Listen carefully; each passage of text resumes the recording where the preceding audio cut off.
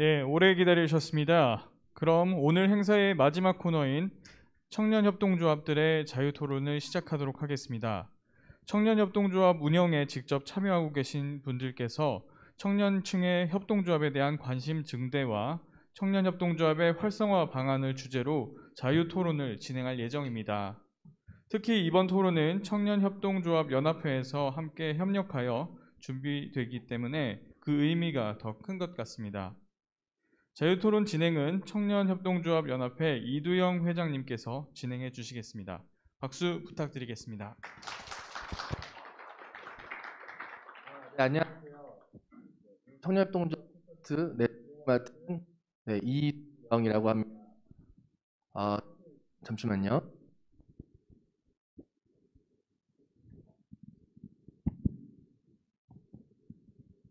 어, 네, 약간 기기에 문제가 있는 것 같기는 한데 기술팀에서 해결해 주실 거라고 보고 있고요. 네, 다시 소개하도록 하겠습니다. 오늘 청년협동조합 이야기 콘서트의 진행을 맡은 이두영이라고 하고요. 어, 앞에 나왔던 발제에서 있었던 것처럼 청년협동조합들이 어떤 고민들을 하고 있는지에 대한 내용들을 좀 같이 이야기해보고 네, 토론하는 그런 자리라고 봐주시면 될 것 같습니다. 어, 다만 저희가 뭐 항상 알고 있다시피 이런 토론회 같은 것들 진행을 할 때 너무 재미없거나 딱딱한 것들 많이 봐왔었는데 그러지 않고 사례 중심으로 좀 재밌게 이야기할 수 있는 것들 준비하고 있으니까 어, 온라인으로 지금 시청하고 계신 분들께서도 혹시 궁금하신 거나 같이 이야기하고 싶으신 것들 있으시면은 네, 댓글 주시면 저희가 언젠가 또 같이 이야기할 수 있는 네, 그런 시간까지 마련을 해보도록 하겠습니다.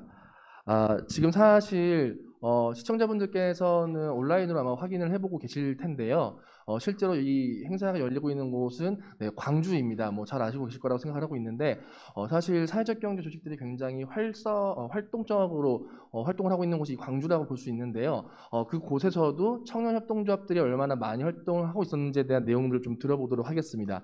아모틱 협동조합의 사례를 좀 들어보도록 하겠습니다. 네, 추민승 이사장님 부탁드리겠습니다. 아, 네.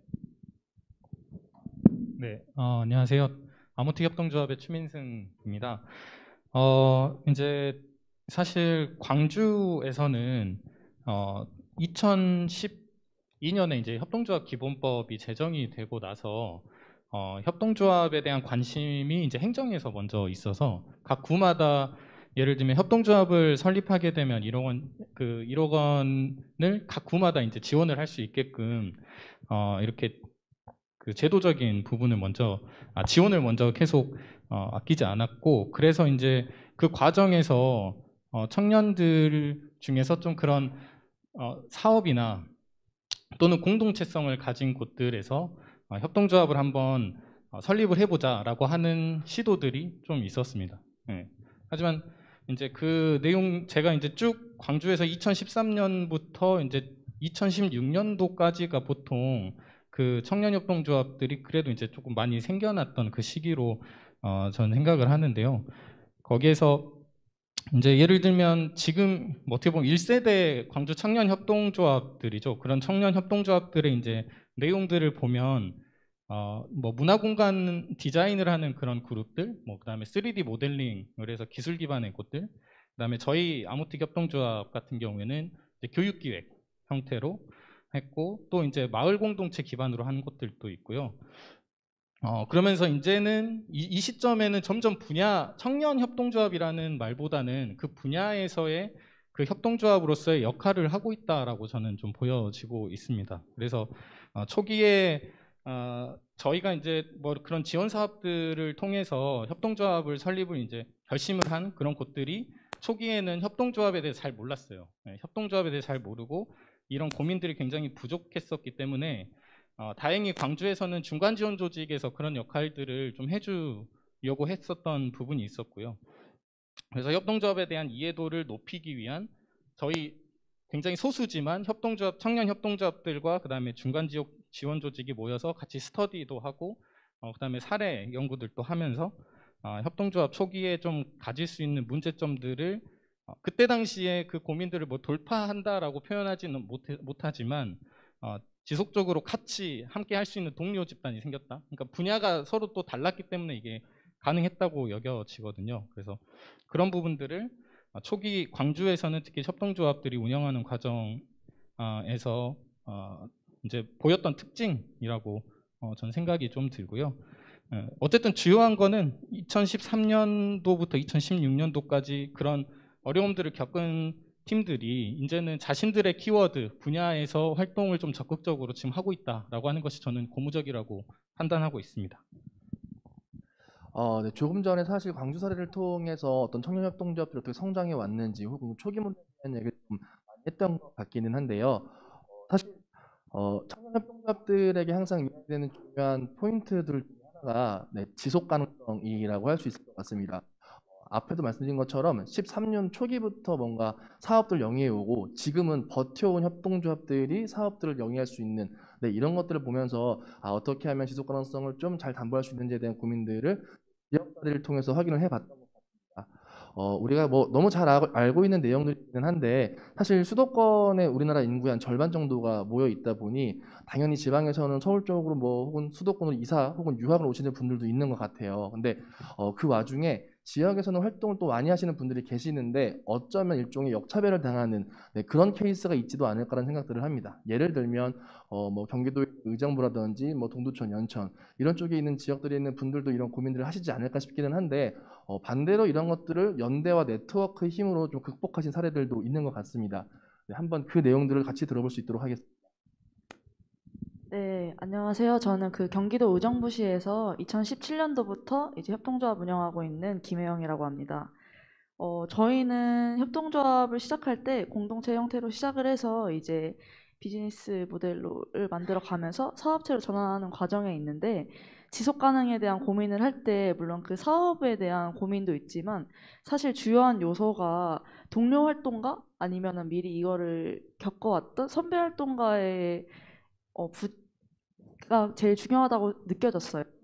근데 다들 공감을 하겠지만 지역의 청년협동조합이 거의 아마 유일하실 거고 저희도 그랬고 그러다 보니 좀 자연스럽게 인접 지역에 있는 청년협동조합이나 청년활동가 찾기 요 그래서 2018년도부터 저희가 한 3년 넘게 지금 네트워크를 조직을 해서 구성을 하고 있는데 사실 아까 뭐 시사점 및 발전 방안에서도 뭐 청년 협동조합 간 네트워크 구축이나 교류 활성화하는 게 이제 시사점이나 발전 방안이라고 말씀하셨는데 솔직히 이게 겪다 보면 쉽지가 않습니다. 네트워크와 연대를 구성하는 게 저희도 이제 시행착오를 겪었는데 초반에는 사업 중심으로 네트워크를 구축을 했었어요. 그래서 만나서 우리 같이 어떤 사업을 해볼까 아니면 어떤 프로젝트를 해볼까 어떤 문제를 같이 해결해 볼까라고 하고 오히려 저희가 먼저 그럼 우리 뭐 토론회를 해보자라든지 같이 거- 강연을 들어보자라든지 이렇게 시작을 해봤는데 사실 사업 중심 아니면 프로젝트 중심의 이 네트워크가 구성이 되면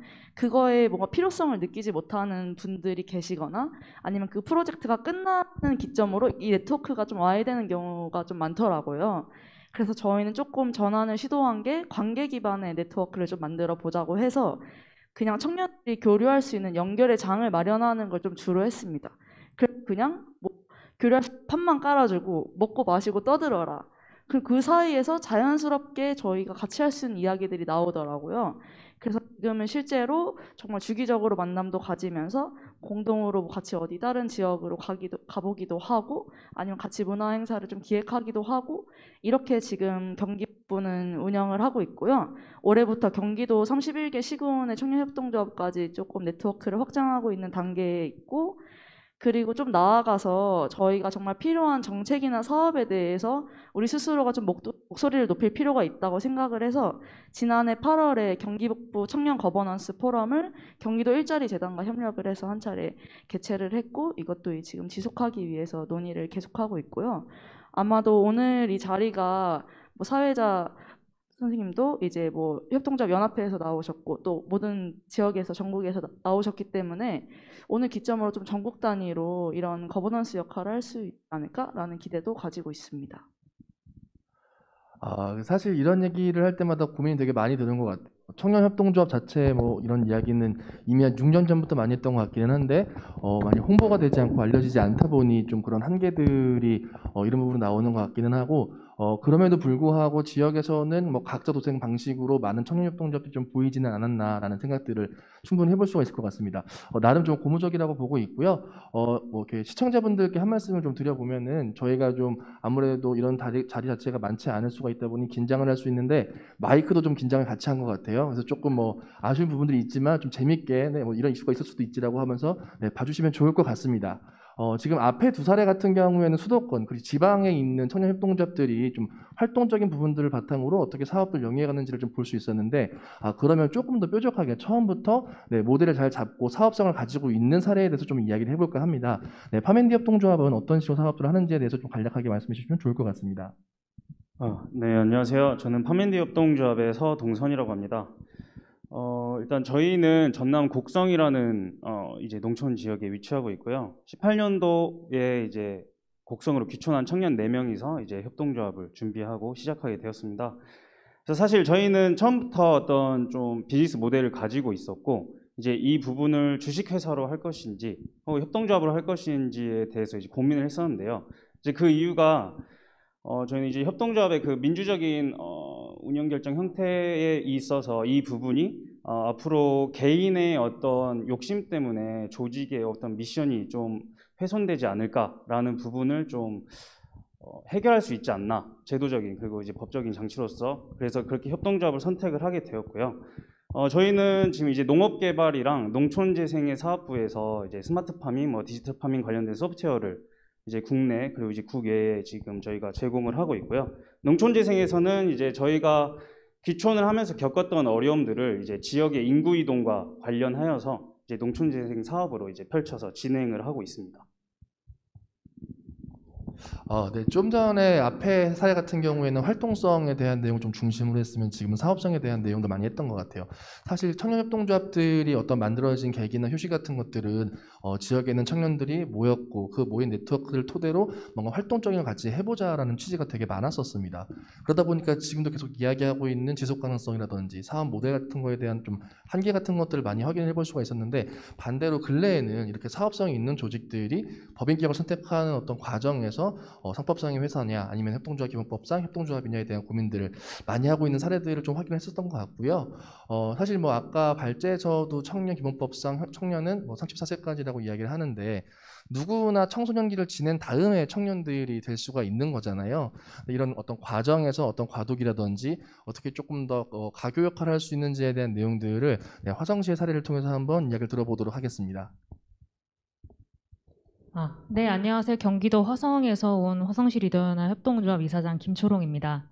네, 어, 먼저 이게 앞선 팀에서는 어떤 내용인지 몰랐는데 이 되게 많은 분들이 앉아 계셨는데 저희가 이제 청년분들이 어, 어렵게 시간을 맞춰서 이렇게 좋은 사례들을 공유를 하는데 많이 나가시더라고요. 그래서 아, 우리의 얘기가 지속 가능성이 담보되지 않았다라는 네, 좀 아쉬운 얘기들을 좀 먼저 하면서 저희가 이제 지속 가능한 어떤 어, 성장을 하기 위해서는 좀 많은 분들이 더 얘기를 조금 더 경청해 주셨으면 하는 바람에서 먼저 인사를 이렇게 드렸고요.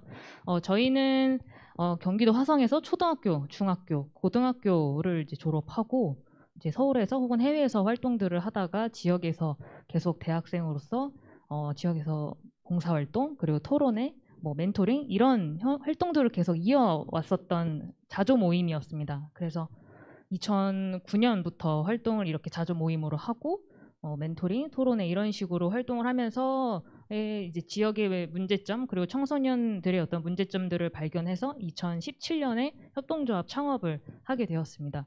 어, 앞서 이 김혜영 이사장님께서 말씀을 해주셨다시피 지역의 선배 청년 활동가, 선배 협동조합 들이 없었어요. 그래서 굉장히 각계전투했고 고군분투했던 그 시간이 지나, 지났는데 지나와서 이후에 후배들, 이후에 청년 협동조합 구성원들을 어, 성장시키기 위해서 과연 우리가 얼마나 청년 협동조합에 대해서 노출하고 있는가를 좀 점검해봐야 되는 시기인 것 같아요. 저 역시 청소년 시기에서 내가 협동조합에 대한 사례를 접해봤을까라는 생각을 했을 때 없었어요. 그리고 지금 청소년도 크게 다르지 않다라고 생각합니다. 물론 뭐 학교 협동조합의 사례들이 많이 늘어나고는 있지만 기본적으로 우리가 협동조합에 대한 어떤 유입을 우리가 시키려면 지금 청소년 시기에서부터 그 노출이 시작되어야 된다는 얘기를 꼭 하고 싶었어요. 네. 우선은 이제 더 얘기를 차분히 하겠지만 우선 저희는 이 화성에서 어, 청년 협동조합으로서의 어려웠던 어려웠었던 점 그리고 향후에 우리가 청년 협동조합에 대한 이 인식을 확대하기 위해서는 어떤 방안을 어떻게 협, 어, 청년 협동조합에 대한 노출을 시켜야 한다라는 얘기로 먼저 말씀을 드리겠습니다. 그 사실 어 아, 아까도 아까도 말씀드리긴 했었지만 청소년이 어떤 청년을 성장하는 과정 혹은 진입하는 그 과정에서도 좀 고민들이 많이 있을 것 같습니다. 근데 이제 그런 부분들을 어떻게 좀 역할을 할 수 있는지에 대한 내용들을 같이 좀 이야기한 사례가 아닐까 싶기는 하고요. 어 사실은 사회적 경제 혹은 협동조합을 그 자체로 고민을 많이 하고 연구를 많이 해오고 이런 조직들도 굉장히 많이 있었거든요. 그리고 그랬던 또 연구 사례 같은 것들이 어 지금 많이 누적이 되어서 저희가 사업들을 진행하는데 혹은 활동을 하고 있는데 많은 도움을 주지 않을까 싶은 생각 들을 하고 있는데요. 어, 초기에 어떤 그런 조직들이 있었고 그런 연구 사례들이 어떤 식으로 좀 어, 펼쳐질 수 있는지에 대한 내용들을 쿠피 협동조합의 이야기를 통해서 좀 들어볼 수 있도록 하겠습니다. 네, 안녕하세요. 저는 쿠피 협동조합의 권영기입니다. 쿠피 협동조합은 이제 2012년에 성공회 대학교 안에서 학생들이랑 이제 교수님들이 이제 함께 그리고 대학원생들까지 해서 주축이 돼서 만들어진 협동조합이고요. 어, 처음에는 이제 쿠피 컨퍼런스라는 행사를 통해서 청년과 협동조합을 어떻게 연결을 시킬 수 있을까라는 이제 고민에서부터 시작을 해왔고 그런 것들을 활동을 하고 하다 보니까 이제 협동조합을 따로 만들어서 이제 뭔가 사업을 좀 더 진행을 해보자라고 해서 이제 협동조합을 만들게 됐습니다. 음, 저는 2015년부터 합류를 하기는 했는데 그 전부터 이제 쿠피 협동조합이 지속적으로 해왔었던 것은 어, 해외 이제 쿠피 아니 협, 해외 협동조합과 관련된 이제 사례들을 이제 한국에 소개하고 그리고 이제 국내에서 협동조합과 관련된 연구 사업 같은 것들을 이제 대학원생들과 교수님들이 이제 함께 진행을 하고 그리고 이제 내부적으로도 예, 끊임없이 이제 뭐 국제적인 네트워크라던가 연구 네트워크라던가 아니면은 뭐 어, 국, 국내에서도 이제 교류를 하는 형태들을 이제 가지고 가기 위해서 어, 사업과 함께 이제 여러 교류 네트워크들을 진행을 해 왔습니다. 네. 그래서 사실 저희 이제 협동조합 같은 경우는 구성원이 전부 청년은 아니에요. 근데 청년도 있고 그리고 학생도 있었고 그리고 교수님도 있었는데 요 운영 과정 안에서 이제 어느 정도 그런 뭐 어려움이나 이런 것들은 있었지만 그래도 이 협동조합으로 운영하는 데 있어서는 조금 나름 길게 잘 지내오지 않았나라는 생각은 들긴 합니다. 조금 사례들을 이제 설명을 드리고 싶은데 이제 저희는 주로 했었던 연구 사업으로서 이제 뭐 청년과 관련된 것들을 이제 많이 진행을 하지는 않았어요. 근데 이제 최근에 들어서 이제 청년에 좀 관심 있어 하는 분위기가 이제 형성이 되다 보니까 이제 이런저런 청년과 관련된 연구 사업들이 이제 조금씩 들어오고는 있는데 어 여전히 저희도 오래되긴 했지만 여전히 그래도 이제 조금 어려운 지점들도 겪고 있기는 하고 어 그런 좀 이것저것 설명을 많이 드리고 싶은데 막 뭐부터 말해야 될지 잘 모르겠네요. 그래서 일단 저희 뭐 일단 쿠피 협동조 소개를 드리면 일단 여기까지 드리도록 하겠습니다. 네. 어, 네, 저희가 어, 네, 저희가 약간 이야기를 하는 과정에서 많이 긴장을 한 것 같기는 합니다. 그 이제 시청자분들은 모르실 수 있기는 한데 저희 앞에 굉장히 많은 장비들과 사람이 계시긴 해요. 아까 이제 많은 분들이 좀 빠져나가셨다라고 하긴 했었으나 네, 좀 저희가 뭐 이런저런 상황 때문에 긴장했을 수 있으니까 네, 그런 부분도 좀 감안해 주시면 좋을 것 같기는 하고요. 어, 실질적으로 이렇게 청년협동조합 관련된 이슈가 각광을 받게 된 거는 어, 아마도 이제 진흥원에서 관련된 사업들을 하면서가 아닐까라는 생각들을 하긴 하는데 어, 중요한 포인트는 그런 데 있습니다. 사실 대다수의 청년협동조합들이 뭔가 어, 언론과 친하지도 못하고 네, 아는 게 아니라 못하고 어떻게 하면 더 잘 홍보할지에 대한 고민들을 항상 하다 보니 어떤 대외적으로 알려지는 것보다는 지역에서 아름아름 하는 것들이 더 많다라고 보여지고 있기는 한데 어, 그런 부분들 좀 한계를 아무래도 이제 어, 여실히 보여주는 부분들이 아닐까 싶기는 하고 네, 작년에 기본법이 만들어지고 나서 그리고 진흥도 더 많이 관심을 갖는 걸 보니까 어, 이런 사업들이 좀 육성될 수 있지 않을까에 대한 고민들을 많이 하고 있습니다. 어, 저희도 조금 이제 앞에 단의 이야기가 아니라 조금 더 재밌거나 유의미한 어떤 이런 이야기 들을 해볼까 하는데 어, 화성시 리더 연합 협동조합에게 좀 이야기를 같이 좀 넘겨볼까 해요. 어, 사실은 이제 협동조합 관련된 이야기 아니면 청소년, 청년 이런 얘기를 할때 어, 중간에 무언가 어떤 연결고리, 링커 같은 역할들을 좀 원활하게 잘해주면 좋겠다는 생각들을 하고 있는데 이런 어떤 링커 역할들을 더 확대하기 위해서는 어떤 제도에 대한 개선이라든지 어떤 것들이 더 추가적으로 있으면 좋겠는지에 대해서 말씀을 좀 해주시면 좋을 것 같습니다.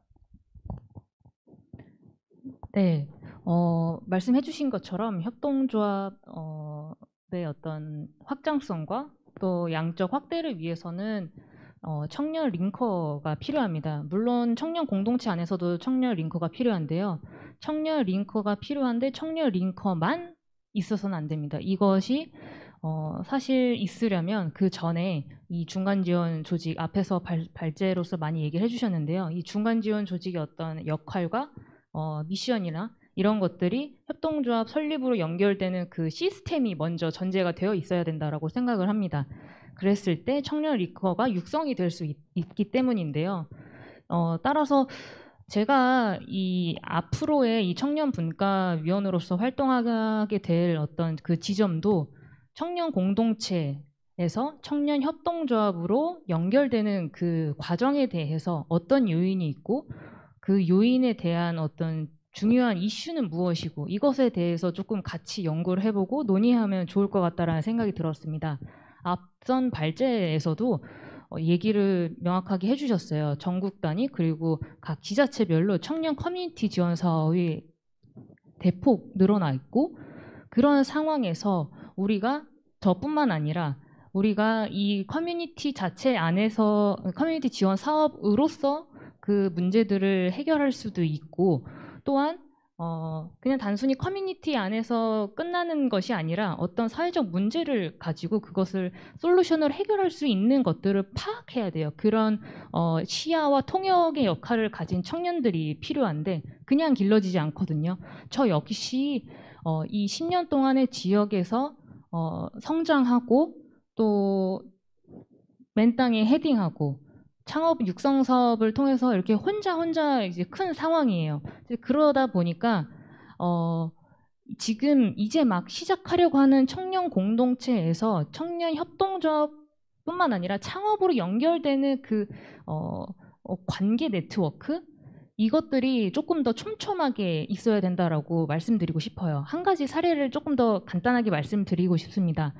어, 제가 어, 아는 이제 경기도 안성의 모 대학교 어, 예술 동아리에서 이제 시작을 해서 어, 2019년도에 제가 경기도 청년 어, 청년 기반 조성 사업으로 경기도 남부 지역의 청년 권역 공동체들을 맡게 되었어요. 그 당시에 이제 처음으로 그 공동체 활동으로 이제 어떻게 보면 커뮤니티 지원 사업으로 해석할 수 있겠죠. 말만 다를 뿐이지. 그렇게 해서 그 공동체를 만났고 어, 활동하는 내용들을 보니 지역의 어, 문화 소외 계층 청소년들을 만났고 그 청소년들을 가르치면서 다원 예술을 통해서 이것들을 어, 소위 말해 내가 업으로 삼고 싶다.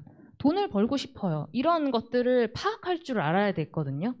그래서 어, 협동조합뿐만 아니라 사회, 제가 밟아온 코스의 사례들을 읊어드렸어요.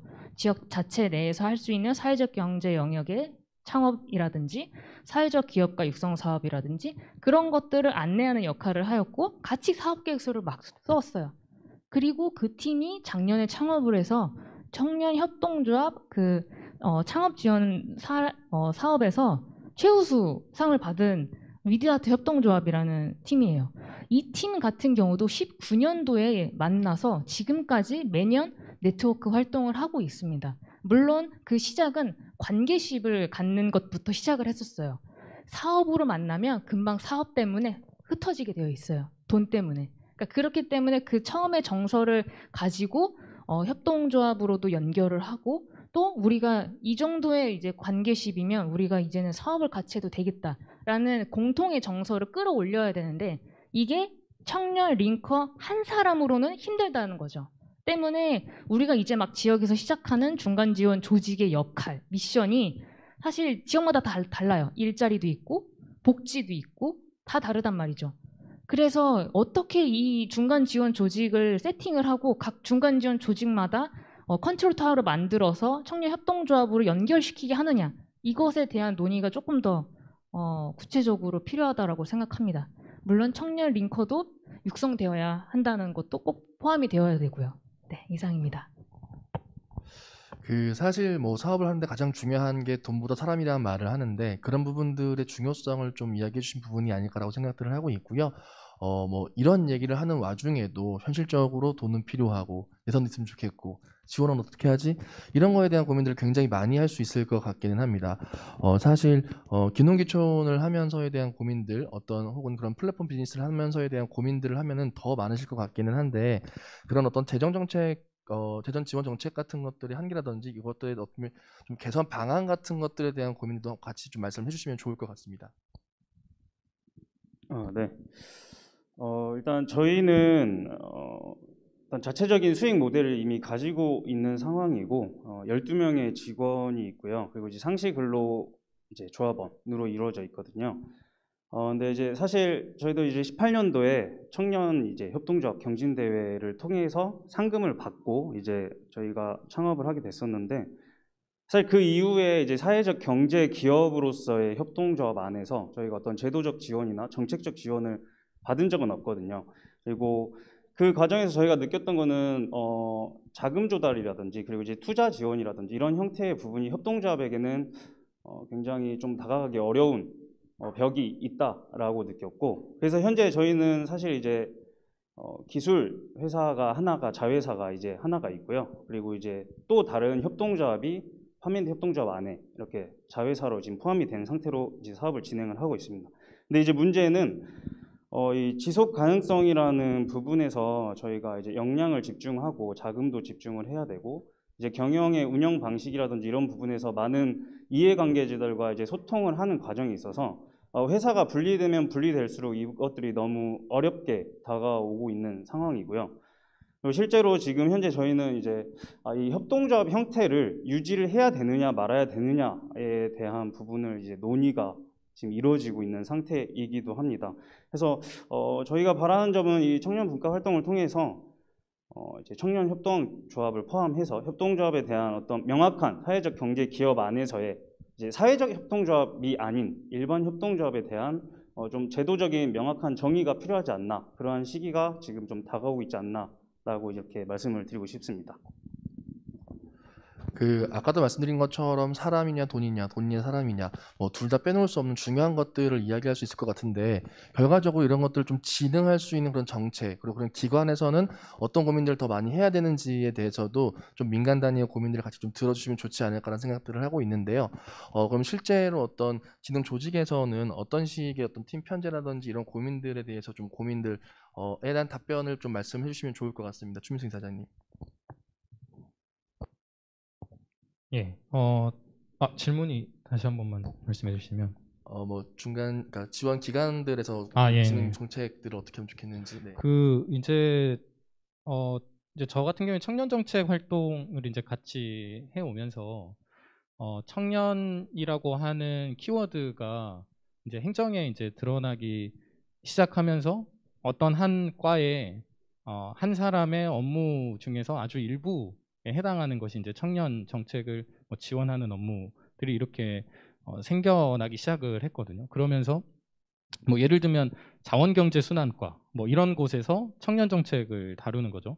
근데 그 업무 말고도 굉장히 다른 업무들, 그 다음에 또 청년과 관련되지 않는 업무들을 담당자가 담당하다 보니까 실은 청년 정책이 발전하는데 조금 쉽지 않은 부분들이 있었고 그것과 이제 어, 비슷한 좀 맥락에서 저도 이제 남구, 그러니까 광주 남구에서 2018년도에 청년 정책 활동을 했었습니다. 그, 그 과정에서 어, 다행히 이제 남구에서는 청년 정책 팀을 아예 만들고 두 명의 주무관을 배치를 했었어요. 그래서 어쨌든 그 두 분의 주무관이 남구에 있는 청년 그룹들도 계속 어, 확인하고 미팅하고 남구뿐만이 아니라 실은 다양한 곳들, 그러니까 광주에 있는 청년 그룹들을 만나면서 고민을 이야기할 여력이 충분히 됐던 거죠.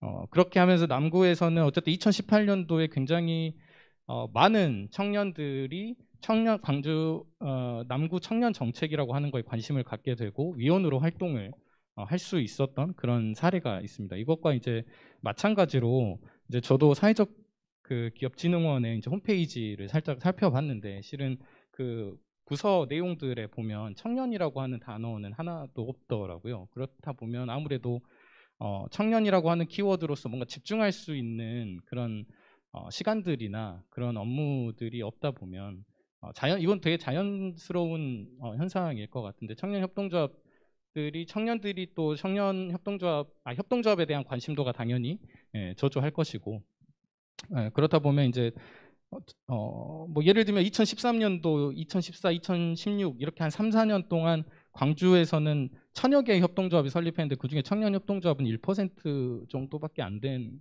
거거든요. 그래서 그런 어, 이 관심도를 실은 부서가 따로 이렇게 전담할 수 있는 그런 부서들이 등장한다면 어, 뭔가 청년 협동조합들의 지원 체계라던가 조금 더 구체적이고 내실 있는 그런 내용들은 나올 수 있다라고 저는 예, 생각하고 있습니다. 그 약간 지금 저희가 이야기하고 있는 내용들은 뭐 여러 가지 발전 혹은 제한 사항들을 드리는 거지 이거 꼭 해야 된다라는 것들은 아니기는 합니다만 어, 진흥원에서 이런 얘기를 들으면은 아 저런 것들을 해야겠다라는 생각들을 하시지 않을까라는 생각들을 좀 해보곤 하고요. 어, 실제로 청년 관련돼 있는 전담 부서가 있느냐 없느냐에 따라서 그 사업 자체에 대한 어떤 농도나 밀도가 굉장히 달라진다라고 보고 있습니다.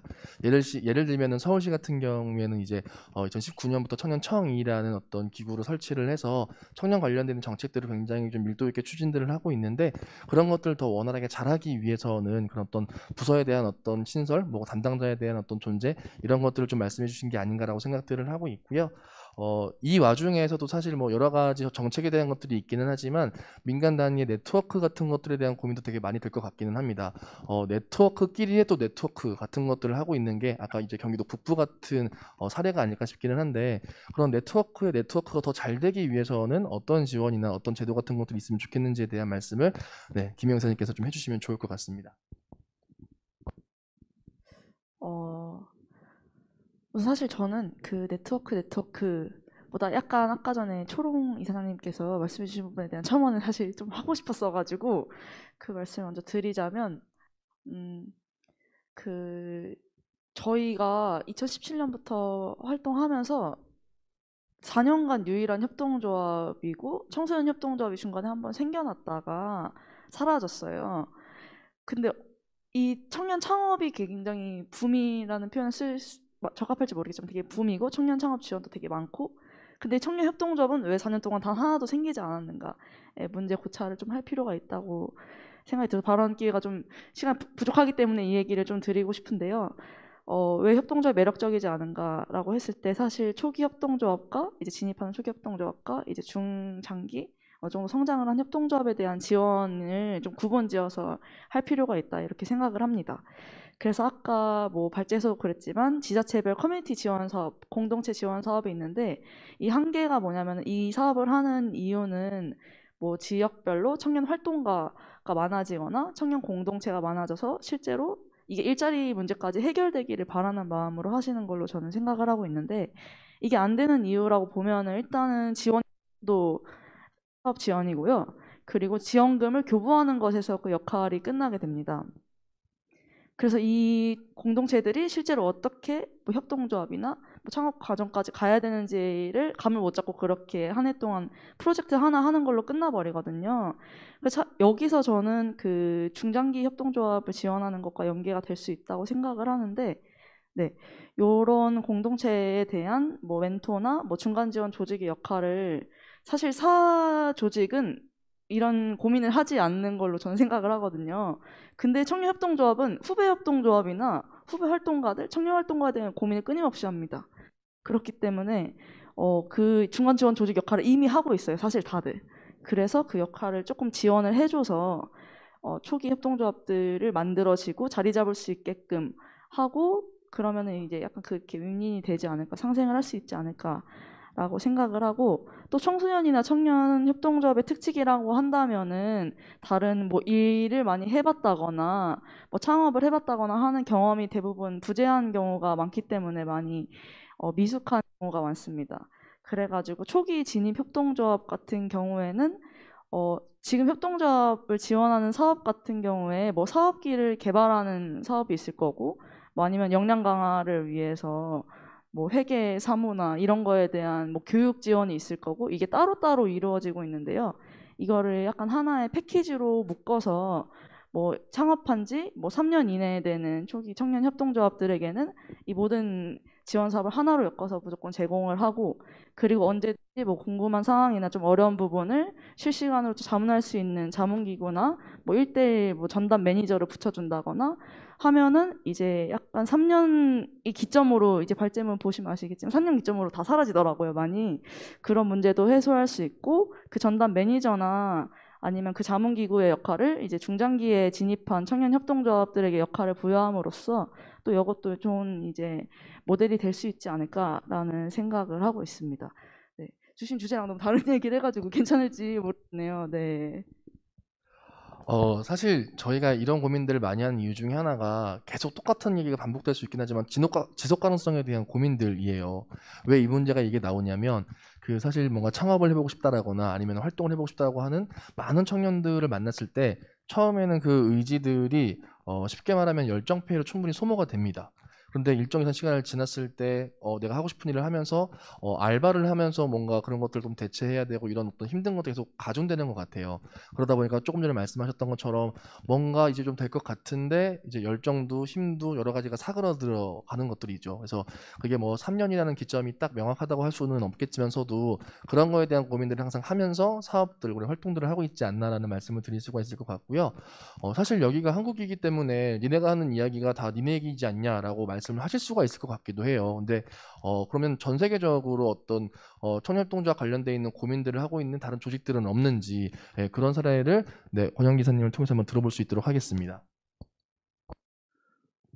네, 말씀 좀 말씀드리면 저는 이제 그 ICA AP 청년 이제 협동조합 모임에 이제 2016년인가 2016년이랑 2018년에 참여를 했었고 원래 이제 작년에 됐어야 되는데 올해 이제 또 청년 이제 ICAP 모임을 진행을 하고 어 합니다. 그때 이제 만났었던 것 중에서 ICAP 말고 또 ICA 안에서도 또 청년 조직이 있고요. 이제 그 조직에서 이제 활동하고 있는 친구들과 그리고 이제 그쪽에 참석한 친구들을 이제 만나면서 만나서 이제 이런 저런 이야기들을 하면서 좀 느낀 지점들인데 결국 그 세계적으로도 고민하고 있는 지점들은 있는 지금 아까 그 본부장님 말씀해 주셨던 것처럼 그 협동조합의 미래 뭐 지속 가능성 이러한 부분들에 대해서 이제 끊임없이 고민을 하고 있는 거예요. 이제 협동조합 운동이 지속적으로 이- 어, 유지되기 위해서는 끊임없이 이 안에 청년들이 들어와서 활동할 수 있어야 되고 그 활동하는 청년들에게 끊임없이 지원을 하고 그리고 그들이 또 다른 사업을 만들어가고 새로운 운동을 만들어갈 수 있게끔 이제 무언가 그들을 이렇게 붐업을 시켜줄 수 있는 무언가들이 필요하다라는 고민을 이제 계속 끊임없이 했었던 것이고 그래서 이제 그 청년들을 위한 모임 그리고 청년들을 위한 이제 워크샵, 세미나 이런 것들을 이제 주기적으로 진, 진행을 하게 된 거예요. 그때 이제 조금 중심이 되었었던 부분들이 아까 여기 계셨던 분들이 다 말씀하셨던 거랑 비슷한데 어, 기획부터 그리고 거기에 참여하는 사람들 그리고 거기에서 나오는 모든 이야기들이 이제 다 청년에서부터 시작돼서 청년에서 끝날 수 있도록 하는 지점들이었는데 음, 그러다 보니까 좀 이렇게 국제 워크샵 같은 거 가면은 이런 분위기잖아요. 이런 분위기인데 근데 이제 그때 가서는 거의 이제 활동 위주였어요. 워크샵이 이런 이제 뭐 그런 것들이 아니고 정말 뭐 아까 뭐, 뭐 먹고 마시고 놀고 그리고 자유롭게 이야기하고 그 안에서 어떤 나랑 비슷한 생각을 갖고 있는 내가 이제 혼자만 내가 활동을 하고 여기에 뭔가 이렇게 쏟아붓는 사람이 아니구나. 그러니까 다 요- 여기 이렇게 나라, 나의 뜻과 함께 공감하는 사람들이 있구나. 그러니까 이런 것들을 느끼는 게 이제 굉장히 어, 버틸 수 있게끔 만드는 힘이 될 수 있겠더라고요. 그래서 어떤 이런 국제, 국내에서의 네트워크도 굉장히 중요하고 또 국제적인 네트워크도 중요하고 그리고 이제 협동조합 안에서의 운동을 이제 뭐 2세대 또는 3세대로 내려 보낼 수 있는 그런 청년들을 만들고 유지시키는 게 어떻게 보면은 굉장히 큰 숙제다. 그 한국 사회에서도 보면은 한국 협동조합 운동에서도 보시면 아시겠지만 네, 이렇게 없잖아요. 여기에 계신 분들이 사실 지금 이제 지금 어느 정도 이제 관심 가주시는 것 같고 어 그런 부분들인 것 같아요. 이게 그냥 어쨌든 지금 한국 협동조합이 이제 어떻게 보면 기본법 나온 지 한 이제 10년 되어 가는데 그 10년 안에 사실 청년 협동조합들이 중장년층 협동조합보다 많이 생기진 않았고 그리고 그런 부분들에 대한 이제 어떻게 보면 뭐 생각이나 고려가 지금까지는 이제 많지 않았다고 봤을 때 앞으로는 앞으로의 10년에서는 이제 그런 이제 후, 후기들을 양성하는다라는 관점도 필요할 것 같고 그 협동조합 운동 이제 유지하고 지속하기 위해서 그 끊임없이 청년이 필요하다라는 관점에서도 이런 부분들이 좀 필요할 것 같다는 생각이 듭니다. 요- 제가 말씀드린 거는 이제 꼭 국내에서만 문제는 아니고 그러니까 세계적으로도 그리고 뭐 ICAP도 ICA도 다 그런 청년에 대한 문제들에 집중을 하고 있고 그런 그 스테이트먼트도 만들어서 청년들이 이제 협동조합 안에서 어떻게 행동해야 하는지 청년 협동조합들을 키우기 위해서 어떤 부분들을 우리가 함께 무언가를 만들어 나가야 되는지 이런 것들도 이제 같이 만들어서 조금 음, 그런 것들을 좀 지켜나가는 만들어 나갈 수 있는 뭐 이런 부분들을 조금 뭐 더 정책적으로 지원하면서 진행해 볼 수 있지 않을까라는 생각도 좀 듭니다. 네. 그 추가 질문을 좀 드려보겠는데 아마 2018년도에 그 AP 행사 하셨을 때만 필리핀에서 하셨던 걸로 알고 있어요. 그때 뭐 그 아시아 태평양에 있는 다양한 청년 협동조합들 구성원들이 많이 오셔가지고 한 3, 400명 분이 오셔가지고 굉장히 큰 행사를 했던 걸로 알고 있는데 그때 뭔가 사업에 대한 피치 같은 것도 있었고 프로그램도 되게 많았었던 걸로 기억을 하고 있는데 가장 인상 깊었던 프로그램을 좀 말씀해 주실 수 있을까요? 네, 이게 뭐 따로 사례 발표 준비를 하진 않아가지고 뭐 이렇게 뭐 자료화면이나 이런 게 조금 없기는 한데 그때 이제 한국에서는 이제 쿠피 협동조합이랑 그리고 저기 아카데미 쿱 그리고 청년협동조합 연합회 이렇게 세 조직이 이제 참여를 했었는데 어, 기억에 남는 행사 같은 경우라고 하면은 그 이제 뭐 소 밥 주고 막 이런 거 했었거든요. 그 이제 그 필리핀 세부에서 있었는데 이제 그 아시아 태평양 쪽 협동조합 대부분 다 이제 농협 위주고 그리고 농업 기반이고 또는 신협이라던가 이런 이제 좀 규모가 큰 협동조합들 국가의 어떤 지원을 받는 그런 협동조합들이 이제 대부분인데 그런 이제 협동조합 안에서 키우 그러니까 학생들 그리고 청년들이 이제 새로운 어떤 기술이라던가 이런 것들을 좀 배우고 느끼고 가게끔 하는 조금 그런 행사들이 같이 있었어요. 그래서 이제 그런 뭐 소밥 주고 이제 커피나 뭐 젖붙이기 하고 뭐 이런 것들을 했습니다.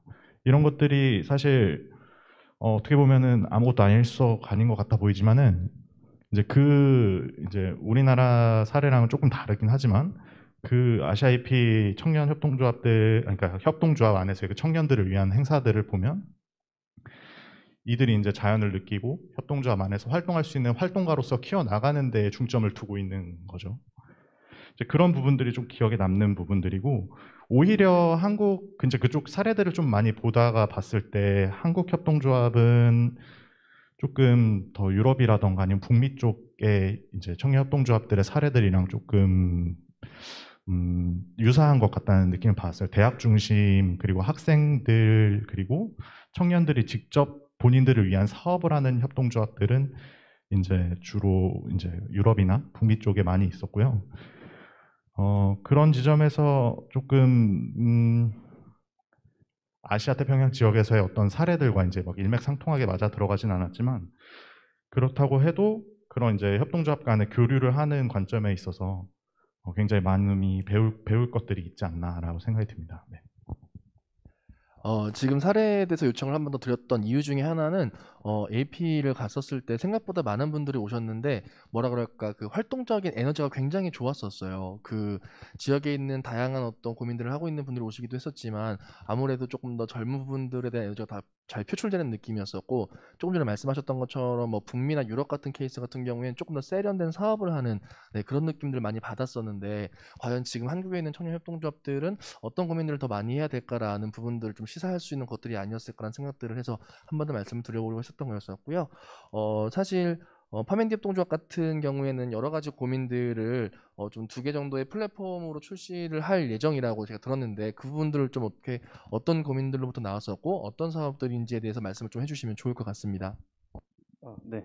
그 이제 올 하반기에 저희가 이제 농촌재생 사업에서 하고 있던 이제 인구 모빌리티의 어떤 그 개념, 이제 지역에 정착하고 그 유입되는 과정에서 이제 경험을 제공하는 이제 플랫폼 서비스가 지금 막바지 단계에 접어들고 있는데요. 어, 저희가 2017년에 그 먼저 들어왔습니다. 제가 이제 결혼을 하면서 동시에 와이프랑 같이 들어왔는데 어, 먼저 와서 가장 먼저 한 거는 마을에 들어가서 이제 그 마을 공동체에 들어간 거였어요. 그리고 이제 마을 공동체에 평균 나이 76세 정도 되셨던 것 같은데 이제 거기에 들어가서 1년 정도 먼저 와이프랑 그리고 이제 나머지 두 명의 친구들이 이제 들어오게 되면서 활동을 하고 이제 화양마을 공동체 2080 화양마을 공동체라는 이제 공동체를 만들고 시작을 했었는데요. 어, 그렇게 이제 3, 2, 3년이 지나면서 저희가 느꼈던 게 어, 뭐 지역 정착이나 뭐 농촌에서의 정착 과정에서 아, 이 농촌 청년 공동체로서 그리고 이 지역 속에서 우리가 어, 살아가려고 하는 사람으로서 어, 좀 다뤄야 되는 장벽들이 너무 많더라고요. 그래서 이 부분들이 어, 다른 청년들한테는 좀 가지 않았으면 하는 부분에서 이제 농촌 재생 사업을 시작을 했고 현재 저희가 3년 동안 진행을 하면서 어, 화양마을을 이제 청촌이라는 개념으로 마을을 변환시켜서 마을 이어가기 운동을 하고 있고 또 그 안에서 지금 약 총 38명의 정도의 청년들이 귀촌을 이제 곡성으로 해서 지금 같이 이제 연대하면서 살아가고 있는데 어, 저희가 이제 플랫폼 사업으로 이걸 전환하는 부분은 이것 역시 좀 지속 가능성인 부분입니다. 어, 공동체가 유지가 되려면 결론은 어, 경제 공동체가 그 안에서 중심이 돼야 되고 이 돈이 목적은 될 수는 없지만 돈이 중요한 건 사실이거든요. 그래서 이 기반을 이제 맞추기 위한 작업을 지금 진행을 하고 있고, 네, 그래서 이 부분에서 더더욱이 어, 좀 네, 협동조합 청년 협동조합으로서 그리고 이제 지금 저희와 연대하고 있는 저희가 이제 연고가 돼서 내려오신 이제 귀촌된 귀촌하신 청년분들에게 있어서는 이제 이분들에게는 저희가 이제 어떤 하나의 큰 경제 공동체로서의 역할을 하고 있고 모델을 하고 있는데 어, 이 부분이 사실 좀 많이 버겁거든요. 중간 지원 그 기관과 저희가 연계를 해본 적도 사실은 없었던 것 같고요. 그리고 이 과정에서 정착 이후 유입 이후의 모든 과정을 이제 뭐 소위 이제 회사가 어, 1대1로 거의 담당을 해오고 있는 상황이었고 이제 그럼에도 이게 이제 의미 있다라고 보는 부분은 어, 이 부분이 어, 저희가 물론 이제 곡성이라는 작은 시골에 있지만 어, 주변 사람들에게 퍼뜨려 나갈 때 어, 그리고 이제 이 사람들이 정착하는 과정에서 필요한 부분들을 저희가 어, 제공을 할 때에 어, 이제 저희는 사실 지역을 벗어날 수 있는 어, 지역 안에 존재하지만 지역을 벗어날 수 있는 ideation이라든지 혹은 그런 어떤 기회를 가지고 그리고 그러한 관계를 애초에 지역 내에서만 존재하지 말고 지역 밖으로 꺼내라고 하는데 어, 이 부분에 있어서 이제 협동조합으로서 저희가 아까 뭐 말씀해 주신 것처럼 중간 지원 기관의 어떤 한 역할을 하고 있다라고도 보고 있거든요.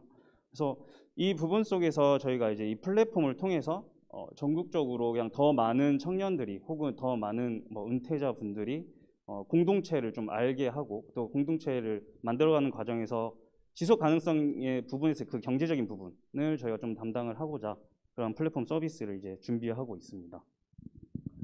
어, 사실 뭐 앞으로 사업성에 대한 고민들은 어떤 협동조합도 계속 고민을 해봐야 될 거라고 보고 있기 때문에 영원한 숙제라고 남겨놔야 될 것 같긴 하고요. 어, 반대로 청년협동조합들도 시간이 지나면 조금 더 뭐 나이를 먹을 거고 반대로 또 후배들에 대한 고민도 많이 해야 될 것 같은데 어, 청년협동조합들에게 어떻게 관심을 가질 수 있으면 좋겠는지를 어, 청소년이나 청년들에게 좀 한 말씀을 부탁드리겠다라는 거를 네, 김초롱 이사장님의 말씀을 좀 빌어서 얘기해 보도록 하겠습니다. 네, 제가 초반에 노출을 많이 시켜야 된다라고 말씀을 드렸어요. 네, 이와 같은 어, 내용인데 조금 더 어, 말씀을 드리자면, 음, 그렇다면 우리는 지금 현재 가장 쉽게, 가장 단기적으로 해야 할 것은 무엇인가라는 고민을 할 수 있을 것 같아요. 물론 앞에서 김혜영 이사장님께서 중장기적으로 단계별 협동조합의 성장 지원 모델에 대해서 말씀해 주셨기 때문에 거기에 대한 내용은 생략을 하고 그렇다면 우리는 지금 당장에 무엇을 하면 되느냐? 우선은 가장 지금 쉽게 할 수 있는 접근은 지금 청년 공동체 어, 단위들이 각 지역마다 지금 계속 성장하고 있고 매년 하고 싶어 하고 그런데 또 어, 어떻게 보면은 좀 더 다양한 청년 공동체들이 성장을 하기 위해서 뭐 1년차, 2년차 했었던 분들은 또 또 탈락이 되고 새로운 청년 공동체들을 선발하게 되는 구조이거든요. 따라서 어, 이 청년 공동체의 어, 형태는 그대로 가지고 가나 우리가 협동조합을 설립하게 되는 과정이 생각보다 어려워요.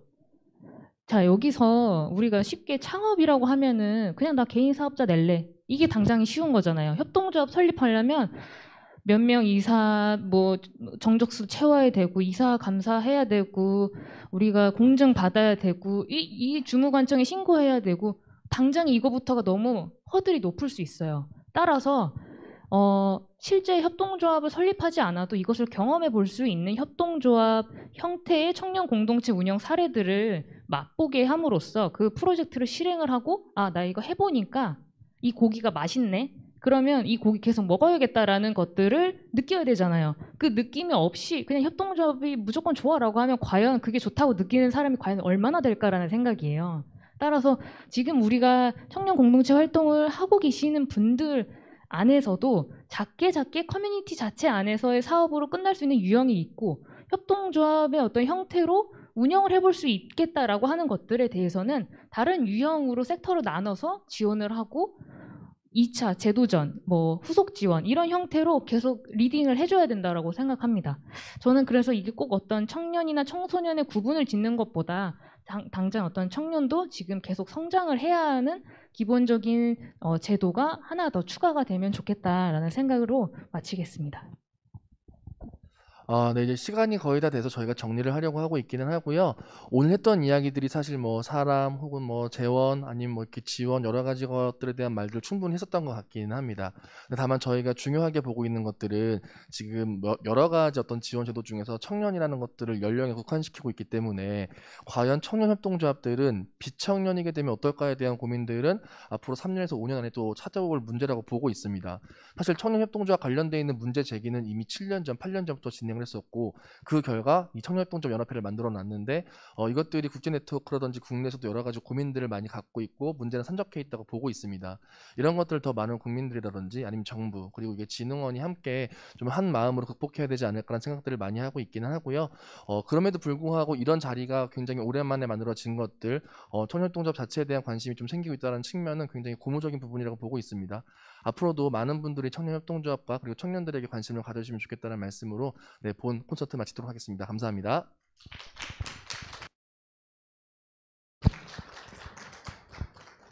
네, 어, 청년협동조합 활성화를 위해 청년들이 어떤 고민을 하고 있는지 그리고 2021년 협동조합 미래 포럼에서는 어떤 주제들이 논의될지 미리 볼 수 있는 좋은 자리였던 것 같습니다. 2021년 협동조합 미래포럼의 성공적인 운영을 응원합니다. 또한 우리나라 협동조합의 지속 가능한 성장을 응원합니다. 추가적으로 2021년 협동조합 미래포럼과 관련하여 현장의 의견을 받고 있습니다. 자막으로 나가고 있는 메일 주소로 의견을 보내주시면 보다 나은 미래포럼을 만드는 데 참고하도록 하겠습니다. 이것으로 오늘 준비한 모든 행사가 마무리되었습니다. 협동조합의 날에 협동조합들의 행사에 관심을 갖고 참여해 주신 모든 분들께 감사 인사드리겠습니다. 감사합니다.